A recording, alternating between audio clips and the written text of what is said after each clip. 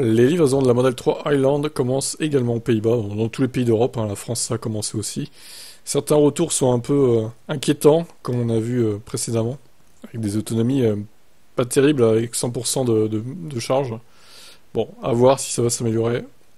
La première livraison en Europe a eu lieu en Allemagne, mais Tesla a diffusé le nouveau Model 3 dans divers pays du continent, la France et la Pologne notamment.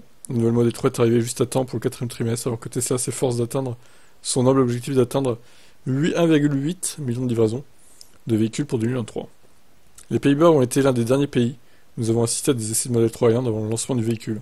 Un lecteur a envoyé des photographies du Model 3 Highland circulant sur autoroute à proximité des centres de service et des showrooms Tesla locaux aux Pays-Bas. Très bien. Donc euh, dites-moi hein, si vous avez réceptionné euh, votre Model 3, est-ce que tout s'est bien passé?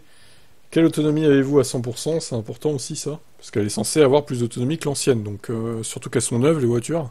Donc normalement on devrait être à 450, 480 minimum quoi. Hein. Vu que c'est du EPA, bon pas, 500 vu que c'est du EPA pour le coup, mais 400, 420 c'est pas assez en fait. Même en EPA je trouve. Hein. Qu'en pensez-vous?